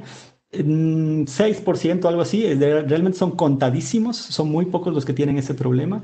Eh, ¿Alguno de los docentes usa otra plataforma en sus cursos en línea? No, tratamos de, siempre estandarizar la experiencia del usuario, del, alumno, entonces tratamos de que todos usaran la misma, la misma LMS. Nuestro campo. Realmente las, las videoconferencias al principio había opción entre Meet o Zoom y hoy estandarizamos y por lo mismo que vamos encaminados hacia un modelo eh, solamente es Meet. Exactamente, muy bien, muchas gracias. Eh, ¿Alguna renuncia? Eh, por ahí hubo una persona que creo que ya no quiso participar.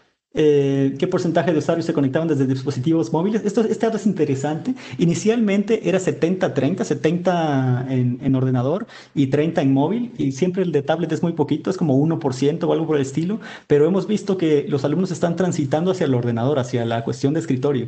Eh, quiero pensar que están aprendiendo que el teléfono realmente es, la pantalla es muy pequeñita, entonces eh, sí se sientan y creo que hay un proceso que, que, te permite decir, a ver, me voy a sentar a estudiar a mi clase o a, hacer tal, a disponerme a hacer tal cosa entonces, hasta el momento, en tiempo real, tenemos 79% de ordenadores y 19.9% de móviles. Entonces, por ahí, por ahí vamos. 1.3 de tablets. Eh, con todo esto, ¿planean ofrecer a sus cursos a usuarios externos, inclusive internacionales? Posiblemente, esa es la intención eh, y ese es el camino hacia el que vamos. Evidentemente, estamos planeando ya la forma en que van a funcionar las cuestiones en el siguiente semestre y en el siguiente año. Entonces, la intención sí es, eh, amplificar las posibilidades.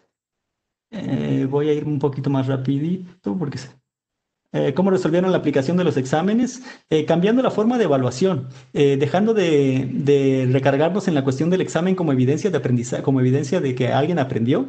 Y entonces usamos cuestiones como proyectos, cuestiones colaborativas, cuestiones ya de, evidencia de competencia, más, de, más que de evidencia de, memorización de algún contenido. los exámenes, naturalmente, puede uno googlear la pregunta y encontrarla si la pregunta eh, es una pregunta teórica, ¿no? Pero si ya estamos hablando de un caso, de un proyecto, de algún prototipo incluso, eh, ya no es posible googlearlo, ya no necesitamos exámenes como tales, más bien necesitamos desarrollo de competencias específicas eh, propias de cada una de las materias y cursos de los maestros y de los alumnos. Eh, cómo resolvimos el problema de las prácticas de laboratorio y talleres. Eh, tenemos por ahí un laboratorio a distancia, los talleres los trabajamos con, con los eh, softwares que usaban cada uno de los, de los maestros y esa fue una, una de las dudas principales al, inicio. Algunos maestros decían así, oye, pero yo tengo un programa súper especializado y cómo le voy a hacer para que mis estudiantes lo usen o aprendan. y la respuesta fue, a ver, aprender no es únicamente hacer, ¿no? aprender también puede ser identificar un error, enseñar hacerlo, eh, eh, dar un ejemplo, eh, etcétera, etcétera. Entonces hay algunas otras formas de, hacerlo que podríamos evaluar y eso lo resolvieron muy bien con creatividad nuestros, nuestros maestros con las posibilidades que tenían. ¿Qué costo tiene Unicheck? Unicheck depende de cuántos usuarios vayas a tener, pero anda sobre 90, bueno, no puedo decir un, un, costo específico porque pues depende de cuántos alumnos vayas a tener, pero es una buena opción, tiene buenas funciones. Eh, ¿Consideramos otras opciones? Sí. Eh, Urkun, eh, Turnitin, etcétera, etcétera. creímos que esta fue la que tuvo mejor servicio para nosotros en términos específicos. También habíamos tenido una acercación, una acercación, un acercamiento eh, con la marca gracias a uno de los Moodle Moods que eso es bastante interesante. Quien vaya, eh, todas esas personas que usen las plataformas, es importante que vayan a colaborar con otras personas en eventos fuera de la institución, tener el ojo afuera, a ver qué, qué es lo que está pasando y qué es lo que está en punta y cómo puede mejorar las condiciones de sus propias plataformas. Eh, ¿Cuánto tiempo planeamos dejarla congelada la versión de Moodle? Hasta que todos nuestros plugins tengan versiones estables eh, de, de la versión nueva. Eh, los plugins que mencionamos son de terceros. Generalmente todos los plugins o la gran mayoría de los plugins de, Moodle son de terceros, pero están validados por Moodle. Eh, ¿quién, los, ¿Quién los provee? Propio Moodle. ¿Desarrollamos alguno específico? No. Eh, esta ya está. resistencia, no podríamos hablar de una resistencia específica, más bien de, de que había la posibilidad de tener la herramienta tecnológica y pues eran 32% quienes las usaban, pero no sé si resistencia porque no había como enforcement de, de la plataforma, ¿no? No era obligatorio. Eh, no hemos preguntado todavía y no sé si todavía tengamos tiempo. Cualquier cosa, por favor, párenme porque yo me voy este, eh, eh, de, de, derechito. Con el cambio de licenciamiento de Google Meet, ¿consideramos algún cambio a alguna otra? Hasta el momento le estamos teniendo bastante paciencia a Meet ahorita los, cambios de licenciamiento pues eh, nos limitó a 100 participantes, entonces para términos de clases no tenemos tanto problema porque no tenemos salones de 100 personas, eh, pero eh, a nosotros nos gustaría conservar el, el asunto, porque esto es algo también importante, que muchas veces cuando una institución da una herramienta nueva o algún contexto tecnológico nuevo a sus docentes, generalmente termina ahí o, una, de las prácticas que a mí no me gustaría eh, reproducir es que ahí está la herramienta y ve cómo la usas, ¿no? Nosotros tenemos como que más la filosofía de aquí está la herramienta, vamos a ver cómo lo usamos entre todos eh, y vamos a aprenderle entre todos, ¿no? Pero sí dar soporte sobre la herramienta que estás proporcionando, porque si no, al rato puede ser contraproducente. Eh, el 5% que no pudimos atender, ya no sé a qué se refiere eso. Eh, los materiales digitales los desarrollaron los propios profesores. Esto es interesante. Eh, sabemos que deberíamos de tener un super profesor para que haga todo el proceso de, elementos digitales y gráfico y demás, pero eh, en términos de la arquitectura didáctica que les mostré, todo lo gráfico lo desarrollamos eh, en la universidad y los profesores ya nada más diseñaron las cuestiones propias de sus cursos. quería enfatizar sobre la parte sobre la parte de este 5%, eh, este, explicaba el doctor Rafael, eh, el, semestre 2020 evitamos las deserciones eh, por causa de la, de la pandemia. Hubo alguna por cuestión de, que no era la, lo que, la, carrera que quería estudiar, pero por cuestión eh, académica, económica o tecnológica no hubo decisión. Ahorita para el reingreso a este nuevo ciclo escolar eh, tuvimos una, una rematriculación del 98% y es el 95% que se refiere es a la captación de la matrícula de nuevo ingreso. Aquí las autoridades eh, estatales nos dieron la, indicación que las clases empezaran a partir eh, ellos decían entre el 7 y el 21 de septiembre, por lo que las instituciones públicas eh, aplazaron sus, fechas de, exámenes y igual sus, sus resultados los dieron apenas hace unos, unos 20, 20 días. Entonces, nosotros siempre tenemos un, objetivo planteado y este objetivo a, estas fechas está al 95%. Lo otro dato que daba el doctor Rafael es que antes de, esa, de, que se presentaran los exámenes por parte de todo, de todas las instituciones públicas, ya vemos eh, universidad eh, pública, la Veracruzana, todo el sistema de tecnológicos, las escuelas normales, nosotros ya teníamos una captación de nuestra matrícula del 70%, o sea que como primera opción eh, ya habíamos nosotros manifestado o los alumnos habían confiado en nosotros en ese porcentaje y siempre es, y sobre todo en estas épocas tan, tan difíciles económicamente, eh, es un muy, muy buen dato. A eso se refería con ese 5%. Y todavía estamos recibiendo alumnos y más con lo que estamos ofreciendo de que están las grabaciones y está todo el campus virtual para que no, no pierdan ningún contenido. Gracias. muchas gracias. Eh, continúo. Eh, migración, migración de materiales físicos a digital que si la hicieron los profesores o quién la hizo, eh, no, realmente ahí la propuesta fue de eh, vamos a buscar elementos nuevos que probablemente vayan a estar mucho más actualizados que lo que tienes físicamente y vamos a apoyarnos en ellos. Eh, si tenemos convenio con Google, consideramos usar Google Classroom, no, porque ya teníamos un campus virtual bastante robusto y desarrollado que los, que los alumnos y los maestros ya usaban, entonces transitar hacia otro contexto pudo, pudo haber sido contraproducente en términos de usabilidad y de procesos eh, ya antes establecidos. Eh, felicidades, muchas gracias a, todos ustedes y creo que con eso eh, es todo. ¿Qué opinión tenemos? Tengo de Teams, no sé si va para mí, pero pues bueno, ya, ya que estamos aquí. es una gran herramienta, tiene varios servicios en la nube que están interesantes. Me gustaría que la usabilidad fuera un poco más alta pero, y creo que hay una curva de aprendizaje bastante larga, pero es muy interesante por la multiplicidad de, herramientas que nos, que nos proporciona. Vale la pena revisarlo. Fantástico. Gracias. De verdad. Este, José Luis, sí, eh, perdón, perdón, José Luis, si me permites nada más dos, dos eh, respuestas puntuales. Una, eh, una de nuestros asistentes nos pregunta datos sobre revalidación y sobre ingreso a la universidad. Eh, ahora sí que no veníamos preparados en el aspecto comercial, pero con mucho gusto a quien este, hizo esta pregunta puede dirigir un correo electrónico a admisiones.ux.edu.mx y con todo gusto eh, se le va a atender de, forma inmediata cuando nos, eh, llegue su correo. nos pregunta cuáles son los requisitos para revalidación, ya sea de escuela pública o de escuela privada. Entonces, admisiones arroba ux.edu.mx. Y una, una, pregunta también eh, del Tecnológico de Orizaba. Muchas gracias por, por las expresiones de, que tiene sobre esta presentación. Y en particular, claro, la Universidad de Jalapa está abierta totalmente a compartir y a capacitar también en las diferentes áreas que sean necesarias a las instituciones que así consideren que que nuestra experiencia les puede servir. Y la tercera, por ahí, quien preguntaba del uso de la plataforma eh, de Tecama. Eh, ya Efraín dio una cátedra de, tecnológica.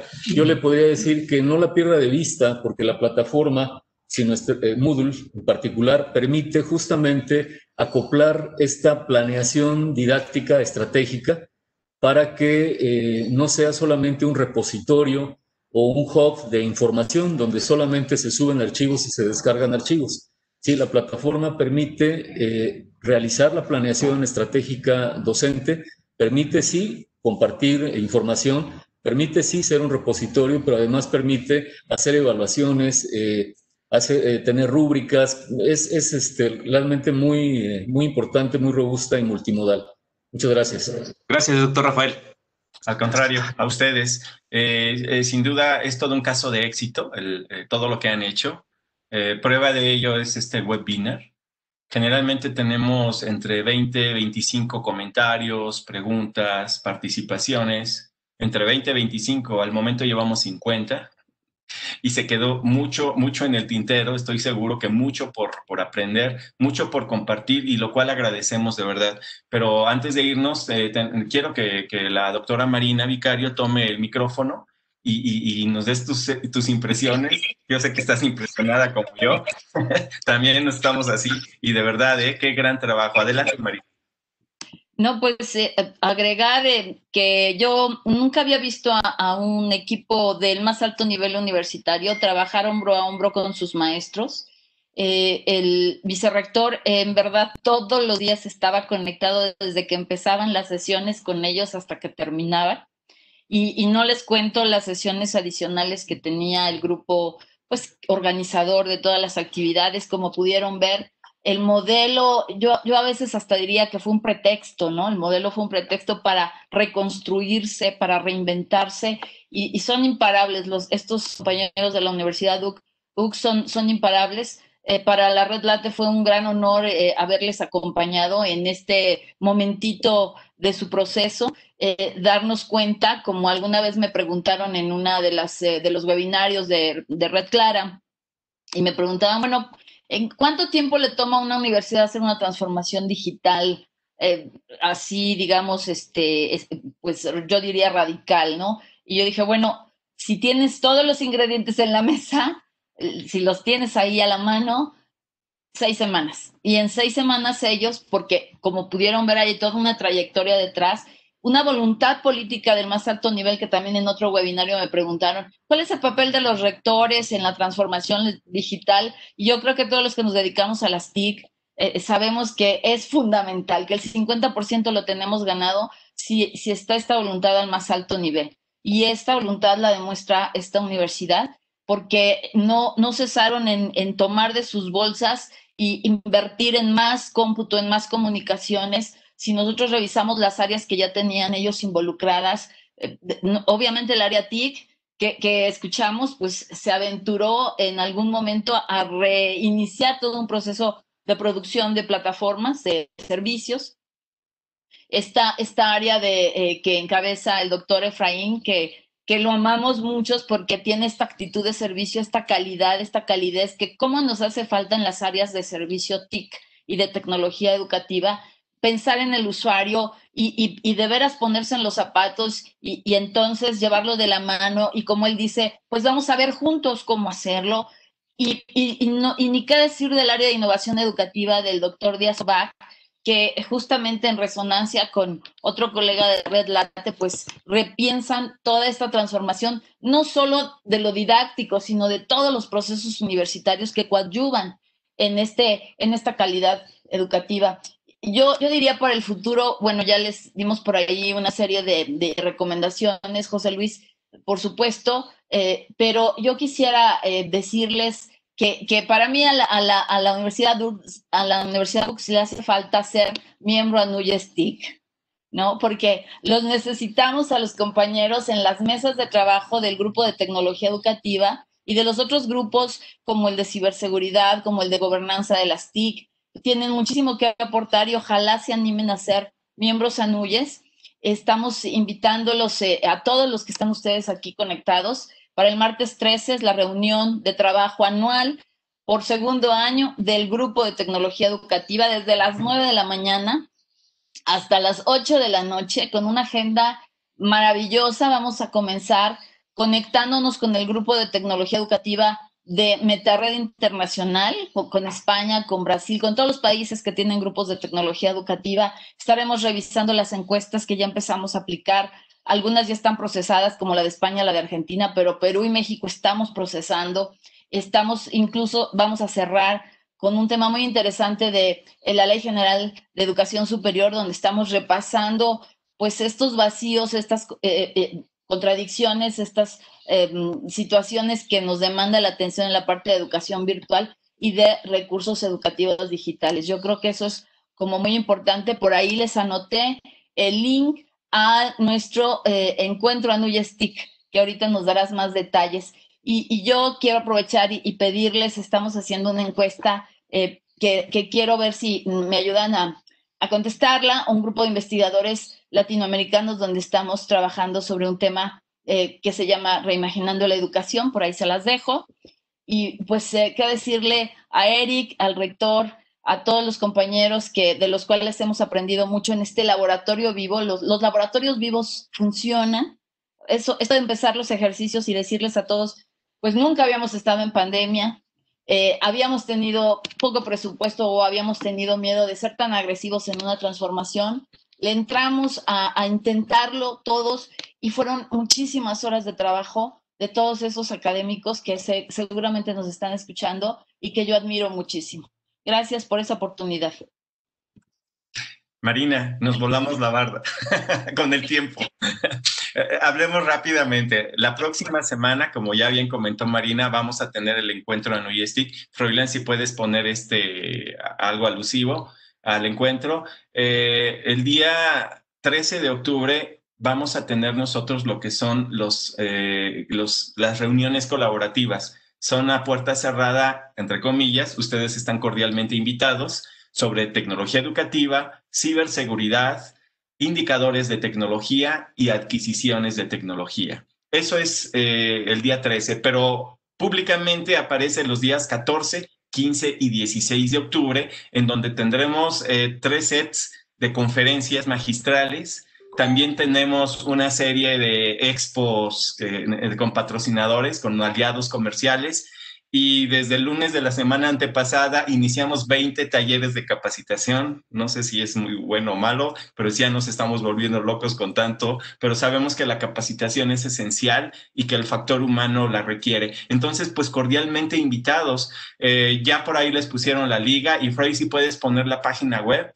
Este es un ejercicio realmente colaboración de muchas personas en donde ustedes pues son parte esencial donde el trabajo colaborativo o estas redes de colaboración entre las universidades es la esencia, no es un evento de esos donde se contratan a los... No, no, lo hacemos entre todos y cada quien pone su granito de arena. Creo que eso es lo más, lo más padre, el ámbito académico y la colaboración, no la cooperación, ¿eh? la colaboración, la real colaboración. Y ustedes, por cierto, nos han dado un gran ejemplo, Universidad de Jalapa, de verdad. Entonces, pues muchísimas gracias. Y Freud, si puedes poner la página web, creo que eso sería interesante. E, este es un escenario básico, es nada más la, la pura fachada. Finalmente, lo importante va a ser lo que vean en el programa y pues regístrense porque ya vamos a cerrar próximamente y realmente no queremos que nadie se quede afuera. Muchas gracias por todo. Pues vamos a cerrar una vez más, este, Marina, nos volvamos la barra. Impresionante, José Luis. Ha sido de las más largas que hemos tenido desde marzo. No, con más preguntas. Y además también. De verdad, pues muchas gracias y, de verdad un agradecimiento muy especial a la Universidad de Jalapa por compartir y, de verdad, este, pues un abrazo a todos los que están todavía conectados. Llegamos a 133. Este, es, es una, una, gran experiencia. Que tengan muy buena tarde y pues enhorabuena a todos. Hasta luego. Muchas gracias. Hasta luego. Muchas gracias, Marina y José Luis. Un gran gusto. Gracias a ustedes. Muchas gracias a todos, que estén muy bien. Hasta luego.